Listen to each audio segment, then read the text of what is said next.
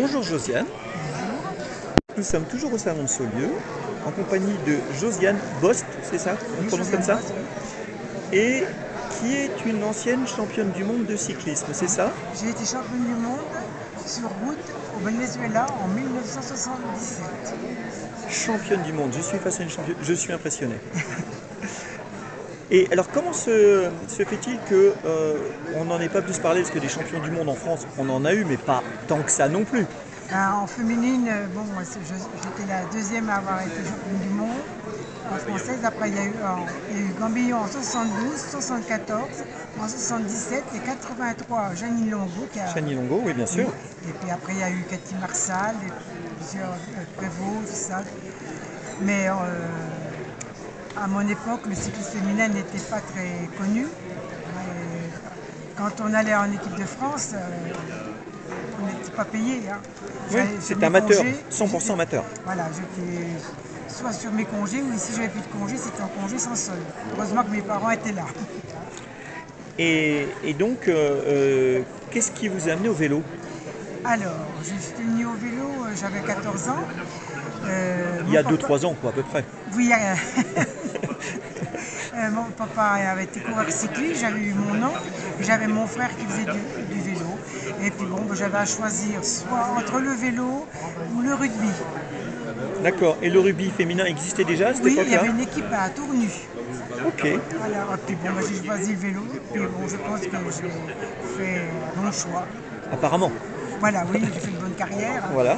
J'ai quand même été championne de France de poursuite, deux fois championne de France de vitesse sur, donc sur piste.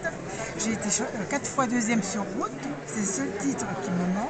Ah, vous n'êtes pas championne de France. Championne Non. du monde, mais pas championne de Non, France. j'ai été quatre fois deuxième comme Poulidor. Comme Poulidor. J'ai plus de 500 victoires à mon palmarès. J'ai 17 titres de championne de Bourgogne sur route. J'ai été championne de Bourgogne de VTT, vice-championne de France de VTT. Euh, j'ai fait pendant 10 ans la Coupe de France donc, de VTT. Et j'ai fini ma carrière euh, en l'an 2000. En l'an 2000, donc récemment quand même, euh, Oui, oui, parce bah- que championne du monde donc en, en 77, 77 et 23 ans après la fin de carrière. Voilà, oui. bon, je, je faisais surtout du VTT pour mon plaisir. hein. Je faisais la Coupe de France, mais pour me maintenir. D'accord, un peu une carrière à la Génie Longo en fait. Voilà, oui, mais euh, j'avais eu le plus beau titre, pour moi ça me suffisait, je me contentais de ce que j'avais. Et donc vous avez écrit un livre qui raconte tout ça. Voilà. Donc euh, j'ai fait connaissance de Roger Joignot, qui est, rédacteur en chef du journal du Centre des Sports, qui a eu le prix euh, du meilleur journaliste en l'an 2000, Oui. à l'an 2000, sur euh, l'article de Miguel Martinez. Et donc, pour sa retraite, eh ben, je lui ai demandé de, de faire un livre, d'écrire Et il me connaissait bien parce qu'il avait fait beaucoup d'articles sur moi. Quand j'étais ch- championne du monde, j'étais licenciée à Nevers, à Varennes-Vauzelles, donc il me connaissait. Et puis bon, ben, je vis avec. donc, euh, dès qu'il avait quelque chose à demander, j'étais là. Et donc, et je vois que vous avez rencontré Francesco Moser, Eddie Merckx. Ah oui, bon, pour moi, ce sont des copains avec qui j'étais en, équipe lors des championnats du monde, comme Ed- Eddy Mers, c'est un ami.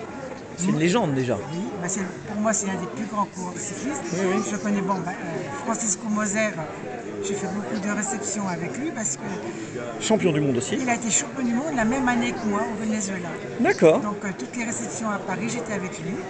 Moi j'ai connu aussi euh, euh, Darigade, euh, Jean- Temec, euh, Bernardino, qui est un copain que j'ai encore vu il y a 15 jours. D'accord. Euh, j'ai connu bon, ben, Michel Laurent, euh, Jean euh, Laurent Fignon peut-être? Laurent Fillon, j'étais à la, en, en Bretagne il y a 15 jours, justement, parce qu'ils ont inauguré une rue. Et j'étais Ok. invitée. C'est mais une, franchement, c'est une grande carrière et, et, euh, et c'est bizarre parce que je m'intéresse un peu au cyclisme et, je connais un peu euh, le- évidemment Jenny Longo, mais j'avais jamais entendu parler de votre nom. C'est, je suis surpris moi-même de ne pas vous connaître. Ben oui. Bon, ben, je, je suis bourguignonne, pourtant bon, Exactement. bon, je suis quand même passée euh, à la télé. hein. J'ai J'étais reçue euh, par Poivre de en direct Ah oui, bien. quand je suis rentrée du Venezuela. Il vous a pas agressé Non, pas du tout. Bon, vous avez échappé à ça déjà. Non. j'ai été reçue à des jeux euh, à la- la- à- sur Antenne 2. J'ai reçu le, donc, euh, je suis passée à la télé le, le meilleur sportif de l'année. Bien, bien, bien. Donc elle a la photo, là. Eh bien, eh ben, écoutez, merci beaucoup euh, pour cet entretien. Puis je vous souhaite un très bon salon et, et ravi de vous avoir euh, rencontré à nouveau parce qu'on s'était croisés à Corbigny.